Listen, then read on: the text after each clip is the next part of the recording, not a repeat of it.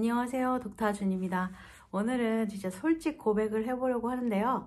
어, 제가 호주 생활을 5년 넘게 하고 있는데 제 영어 실력에 대한 음, 자아 성찰을 한번 해보도록 하겠습니다. 아주 부끄럽습니다. 음, 제가 뭐 어, 일 때문에 미국에서 1년 반 정도 자, 잠깐 살았던 게 다였고요 아, 근데 한국에서 일할 때도 무슨 생각이었는지 출근하기 전에 새벽에 그렇게 영어 학원을 많이 다녔었어요.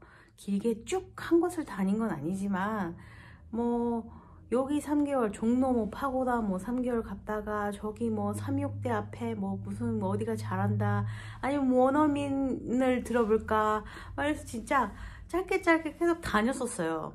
왜냐면 회사에서 자기 개발 비를 지원해 줬기 때문에 어 그걸로 뭘 배워야 되겠다 싶어 갖고 영어를 싫어하진 않았거든요. 그래서 어 좀 짧게 짧게 다녔었는데 항상 처음에 들어가면 레벨 테스트를 보잖아요. 근데 항상 중간인 거예요.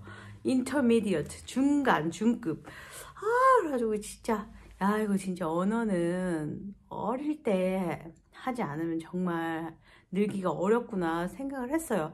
그런데 음 그렇게 막 막 어 발영어 막 이렇게 바디랭귀지 섞어가면서 만약에 음, 해외 출장을 간다거나 해외 전시회를 선다거나 그리고 피부과 일할 때 외국 손님이 왔을 때 그래도 어떻게 어떻게 해서는 진짜 다들 영어 할 줄 아는 사람이 많이 없었기 때문에 그냥 거의 떠밀리듯이 나가서 제가 이렇게 응대하는 정도였거든요. 어, 그러다가 또 미국에서 일할 때도 거의 코리아타운 근처에서 생활을 했었고 뭐 직장 나가도 일하는 직원들 다 한국인이었고 그리고 의사 빼고는 거의 거의 다 한국 사람이었기 때문에 그리고 코리아타운에도 사실 영어가 필요 없어요. 그냥 커피 사러 가, 가서도 내가 원하는 커피만 말하면 되고 뭐 맥도날드 가서, 갔어서 뭐 넘버원? 뭐 이러면 끝나니까 네 그런데 그 같이 일하는 직원 중에 1.5세가 있었는데 아, 그래도 너 준 너 어, 발음은 되게 좋아. 발음 되게 좋아. 막 이런 얘기는 좀 들어가지고 어 그래도 나는 음, 가능성은 있다. 어 그렇게 생각을 하고 또 뭐 한국 돌아가서 일을 하던 와중에 또 여기 신랑을 만나서 호주 올 생각을 하게 되었는데요. 어, 여기 와도 사실 시드니에 와서 제일 제가 놀랬던 게, 어, 이렇게 많은 다양한 나라의 사람들이 살고 있다고 정말 놀랐습니다. 뭐 미국에서는 솔직히 백인들밖에 안 보일 거라는 기대를 했는데 백인들은커녕 거의 다 남미 사람들, 멕시칸이 대부분 그 다음에 흑인들, 그 다음에 백인이 조금 보였었고요. 어 그리고 여기 시드니 와서는 정말 트레인을 타면은 진짜 더 다양한 사람들이 있습니다. 뭐 인도, 네팔, 베트남, 중국, 일본, 뭐 미국, 유럽 진짜 되게 다양해요. 진짜 깜짝 놀랍니다. 그 중에서도 저는 리드컴이라는 거의 코리아 타운에 가까운 동네에 살았기 때문에 뭐 한국 음식들도 전혀 걱정하지 않고 마음껏 먹을 수 있었고 거기서도 솔직히 한국 음식점, 한국 커피숍, 뭐 한국 가게들, 한국 병원 다 있기 때문에 영어가 솔직히 필요 없었습니다. 네. 그런데 가끔, 어, 제 손님들 중에 한 30% 정도가 외국 분들이었기 때문에 그때그때 그냥 어 조금 조금 뭐 임기응변으로. 그리고 사실 이렇게 손님이 편안하게 잠들면 많은 설명을 할 필요가 없잖아요. 그래서 음, 최대한 밝은 표정을 유지하면서 어 그렇게 좀 버텨왔다고 생각이 들어요. 네. 그렇게 그렇게. 그런데 나름 나름 노력은 했거든요. 그리고 같이 세어 세어 사는 그 주인 남자애가 어 그래도 1.5세여 가지고 걔한테 과외를 좀 받아보기도 하고 그랬는데 제가 열심히 노력하지 않은 이상 똑같더라고요. 어. 그래가지고 그런 상태에서 또 한 5년 정도 있다가 여기에 또 올해 왔잖아요. 근데 여기는 진짜 훨씬 더 하얀 사람들이 많은 것 같아요. 네. 진짜로 그 대부분 뭐 여기 오지 사람들 아니면 유럽, 이탈리아 뭐 이런 사람들이겠지만 훨씬 백인이 많아요. 음 그리고 음, 시드니에 한국 사람들 사는 인구가 5만 명이었다면 여기는 3천 몇 명밖에 안 되거든요. 총 에델레이디라는 그 도시에 한국인이 3천 명 사는 거예요. 그래서 정말로 밖에 어디 나가잖아요. 좀 시티나 어디 가잖아요. 진짜 한국 사람 보기 어려워요.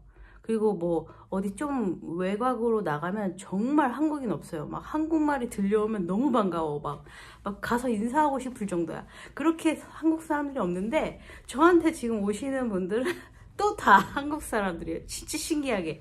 왜냐면 시드니랑 여기랑 어, 이게 연결이 되어 있기 때문에 많이 소개해 주셔서 거의 한국 사람들이 오고 계신데 그래도 외국 분들도 오잖아요. 그래서 제가 영어를 진짜 더 잘하고 싶다는 이유가 어, 이렇게 손님들이랑 친해지고 계속 오시다 보면 더 많은 깊은 얘기를 하고 싶잖아요.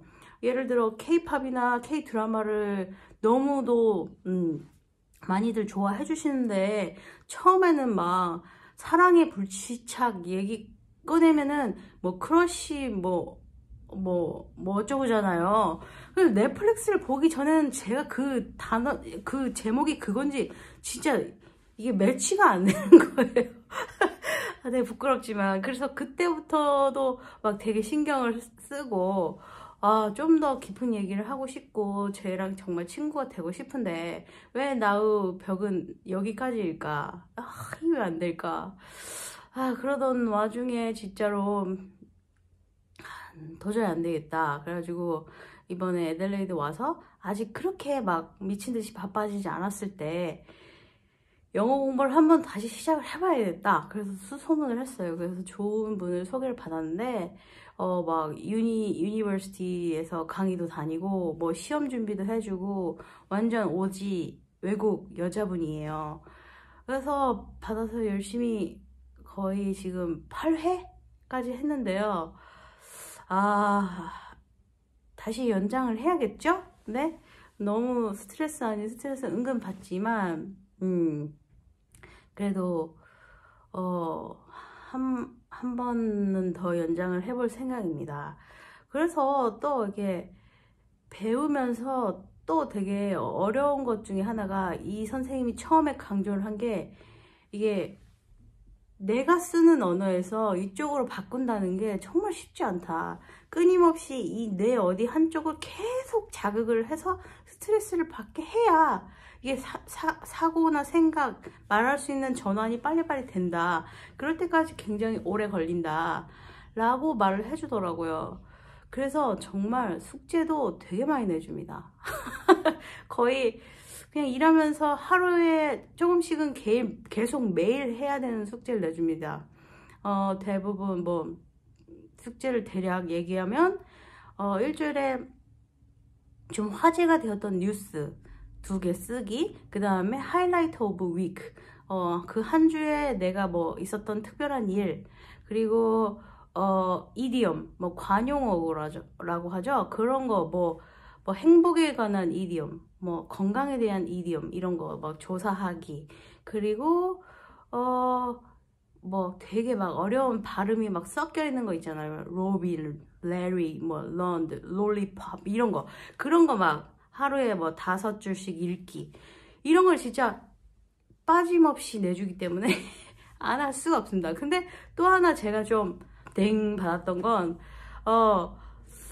제가 미국에서 있었을 때 발음이 좀 좋았다고 해, 들었다고 했잖아요. 근데 그 발음은 이렇게 좀 굴리는 발음 있잖아. 버터가 아니라 butter, 뭐 water가 아니라 water 이거잖아요. 어, 그래서 그냥 자연스럽게 굴렸었는데 여기 선생님은 오지 사람이라 그런지 그래 그렇게 하는 것보다는 좀 그 호주식 발음을 많이 많이 권하더라고요. 왜냐하면 제가 목소리가 좀 차분하고 너무 높낮이가 없기 때문에 발음을 잘 못 알아들을 수도 있다. 여기 사람들이. 그래서 네가 첩첩 이렇게 좀 뱉는 단어들 그리고 끄듬도 that 이렇게 좀 강하게 발음을 해야 사람들이 알아듣기 쉬울 거다 라고 계속 일부러 더 오버스럽게 하기를 강조를 하더라고요. 그래서 진짜 너무 너무 은근히 발음 다른 게 되게 많거든요.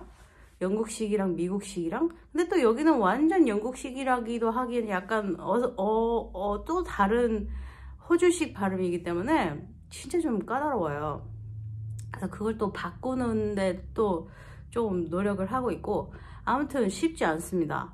그래서 어 그런 걸 한번 본 적 있는데 그 댄서 리정 있죠? YGX 리정. 리정한테 그 라방에서 팬 팬들이 어 호주식 발음 영어 한번 해주세요. 그러니까 이게 딱 부끄러워하면서 g'day mate 이러잖아요. g'day mate g'day mate가 뭐야? 처음에는 막 이랬어요. 그러니까 good day good day mate mate 친구.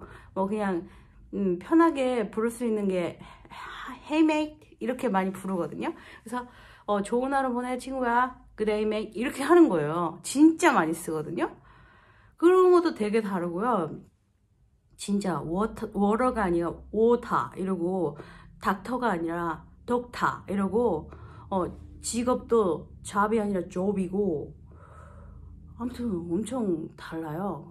그래가지고 지금 거기에도 멘붕을 맞고 있고 어 그래서 진짜 여기 지금 이렇게 열심히 표시를 해줘 가면서 어 여기 발음 발음도 완전 다 다시 하고 있어요 그리고 분수 시계 읽는 법 어 여기 막 엄청 엄청나죠 막 이 막 혀가 꼬이는 이 엄청난 발음들 이것도 매일 연습하고 읽고 하고 있고요 어 이렇게 열심히 하고 있습니다. 네. 그래서 제 이, 이제 고작 8번을 했기 때문에 제 영어가 그렇게 늘, 늘었는지는 진짜 전혀 알 수가 없어요. 뭐 세 발을 피겠죠. 근데 뭐 이게 뭐든지 가랑비에 옷 젖듯이 뭔가는 늘지 않겠습니까? 근데 하나 달라진 점 제가 항상 뭐 슈퍼에 마켓에 어디 뭘 사러 가거나 그러면은 뭐 마스크를 쓰기도 했고 뭐 영수증 줄까? 뭐뭐 뭐 담아 줄까? 막 그러면은 거의 막 기어 들어가는 목소리로. 막 이렇게 이렇게 제스처를 많이 했어요. 근데 신랑이 맨날 너 말을 하지 왜 끄덕이고 마냐? 말을 해 이러는 거예요. 그래서 어 그 선생님이랑 얘기를 했을 때도 그렇게 좀 말을 안 하는 거 대답을 안 하는 건 좀 예의가 아닌 것 같아서 좀 크게 말하는 습관이 생겼습니다. 크게. 크게. 그것도 저한테는 아주 장족의 발전이라고 생각해요. 그 영어를 대부분 두려워하시는 이유가 울렁증이지 않습니까? 울렁증? 그쵸? 저도 울렁증이 상당히 있거든요. 있거든요. 왠지 그 외국 사람들은 덩치도 이만하고 막, 어, 눈도 부리부리하고 무서우니까 왠지 작아지는 나의 느낌적인 느낌. 그래가지고 그 울렁증이 있는데 그거를 일단 극복하고 영어의 절반 이상은 뭐다? 자신감. 자신감.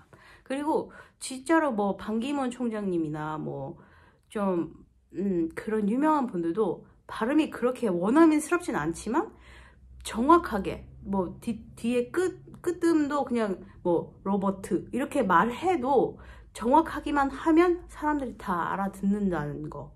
그래서 어, 발음을 되게 중요시하면서 고쳐주시려고 그리고 나우 뇌를 뇌 한 부분을 끊임없이 자극해 주려고 노력을 하고 있습니다. 네. 근데 진짜 점점 글로벌 사회가 돼 가면서 영어 하나쯤 하면 뭐 요즘에 영어 하나뿐만 아니라 뭐 중국어라든가 제2 외국어, 제3 외국어도 많이 배우시잖아요. 그래서 뭐든 뭐 그냥 PT도 받을 때만 뭐 받을 때는 좋지만 내가 그걸 계속 따라하고 해야 혼자도 운동할 수 있듯이 이것도 꾸준함이 내가 얼마나 노력하느냐가 답이라고 생각합니다.